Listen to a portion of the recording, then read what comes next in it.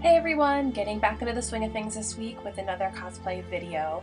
Uh, this week I'm working on the bracers for the cosplay, and so you can see first of all here I'm just taking some white construction paper and tracing my forearm, just so I can understand about how large the bracers need to be.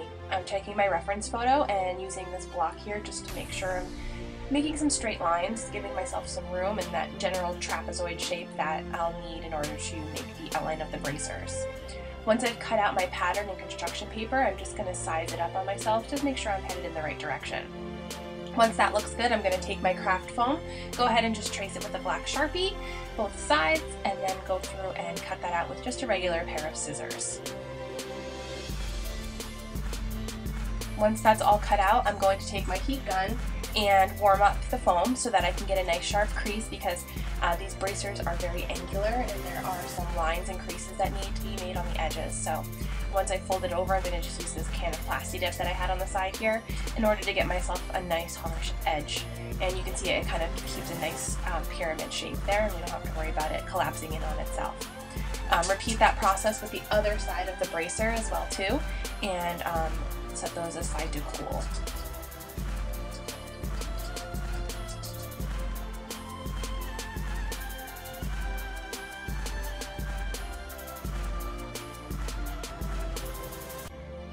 This part I'm trying to figure out how I'm going to do the layers of the pieces that you'll see on the, on the bracers. Um, but once I've got those pretty much measured out for the underneath shape, I'm just going to take some hot glue and run it down the side of one of those pieces of craft foam. I'll take the other side and line them up and just make sure that they're seated nicely. This first layer of glue is really just going to kind of keep them attached together and then I'm going to go in as you can see here on the inside with a further thicker strip of hot glue just to make sure that they stay together.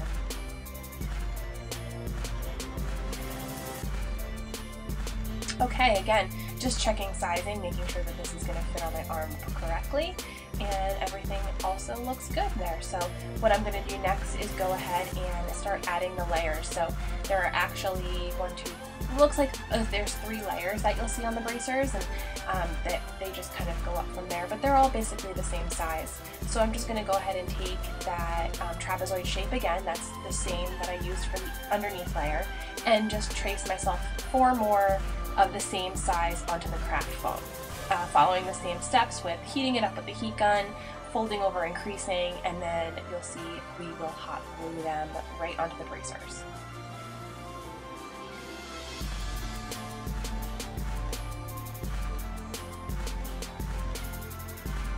It's always good to make sure that your heat gun is uh, nice and warmed up.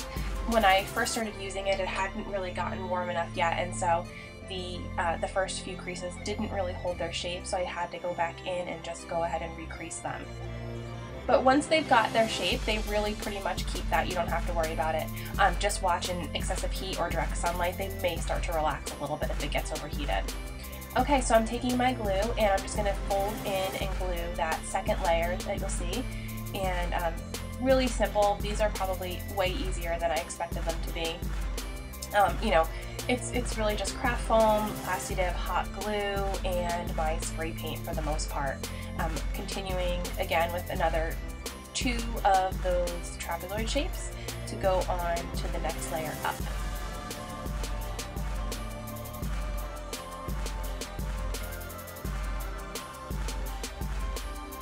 This is why it's really great to make a pattern too, um, even if you just use printer paper or construction paper. If you make yourself a pattern, then you don't have to worry about wasting or you know ruining your foam. Um, not that the craft foam is extremely expensive, but compared to construction paper or just printer paper, um, it's definitely going to be worth your while to make sure that you're dotting all your T's and crossing all your I's, as it were.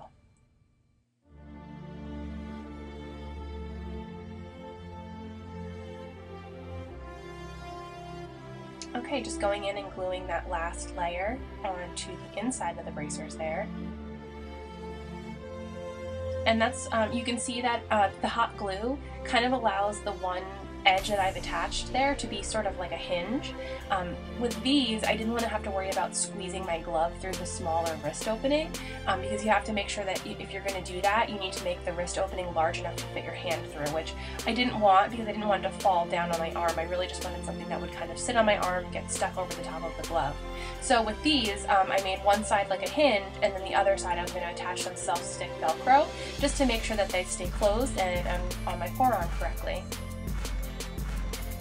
Just checking my reference photo again and you'll see when you do these things, pull multiple reference photos for yourself. Honestly, I've got like at least eight, eight or ten of these reference photos of this costume, um, and every single one, the details are different. So, you know, it's open to interpretation. I kind of found what I thought would work best for my skill set and what I thought would work best for a real life scenario, and went from there.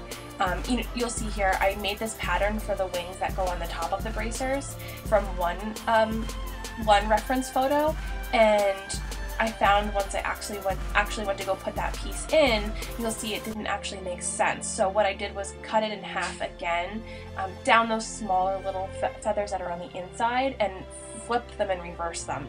So when I traced this, what I actually should have done is made those larger feathers on the inside, but it's fine. All I needed to do was just cut that down the middle and I'll glue it onto the inside. So, um, you know, when I when I glue it in that, when I try to glue it in that way, the way the feathers lay just don't make sense with the way I'm actually seeing the picture on the screen. You can see here, I'm like, no, that doesn't make sense.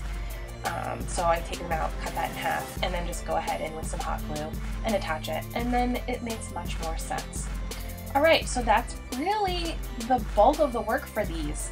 Um, the first one was done, I would say this took me maybe, I don't know, an hour, two hours tops um, from start to finish for one of them.